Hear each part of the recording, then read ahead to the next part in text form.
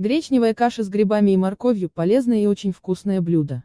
Готовится легко и просто, при этом стоит совсем недорого. Такая каша – отличный гарнир к мясу, рыбе, птице. Ароматную рассыпчатую гречку с морковью и шампиньонами приготовить очень просто. Грибы берите любые по вкусу и наличию. Каша получается очень вкусной и без мяса, как самостоятельное блюдо. Сытно и очень полезно. Крупа гречневая – 1 столовый икон. Лук репчатый – 1 штука. Морковь – 1 штука.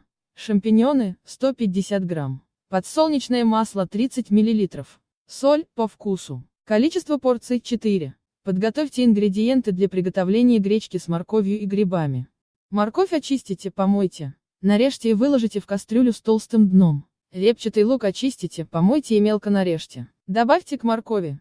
Шампиньоны очистите и нарежьте не очень мелко. Добавьте к луку и моркови в кастрюлю. Налейте подсолнечное масло и 30 мл. Воды, накройте кастрюлю крышкой и тушите овощи с грибами 7-8 минут. Периодически перемешивая. Гречневую крупу переберите тщательно помойте и выложите в кастрюлю с луком, морковью и грибами. Налейте 300 мл воды. Посолите по вкусу.